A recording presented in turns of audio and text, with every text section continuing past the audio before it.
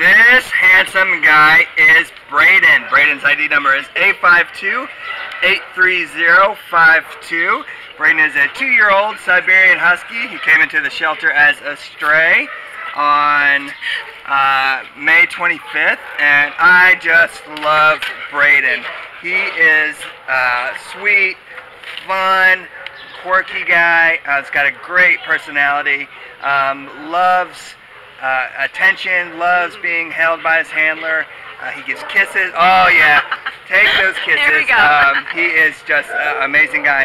Um, Brayden is a typical husky, so he's got great, great energy, um, and he is going to require somebody who can take him on walks. Um, he was very responsive in the play yard to um, catching a ball.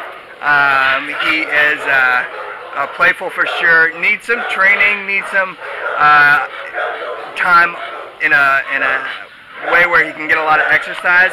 Uh, shelter is a terrible environment for a husky because they need to run and um, get lots of exercise. So um, a lot of people make the mistake with a husky of uh, not having time. This is a dog that definitely requires time.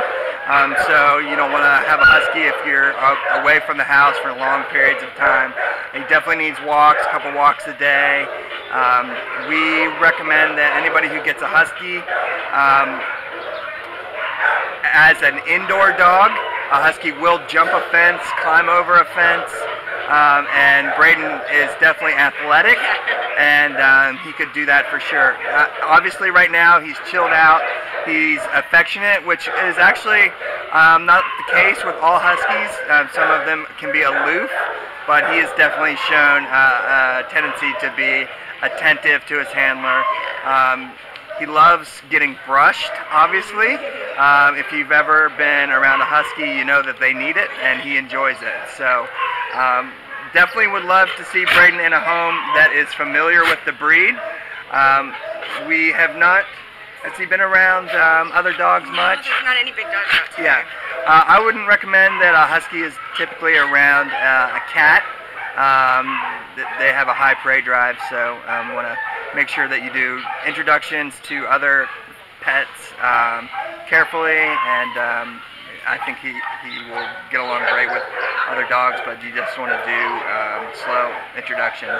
Anything else you'd like to say about Brayden? Um, I think he'll respond really well to training. Um, I was kind of trying to teach him how to bring the tennis ball back to me.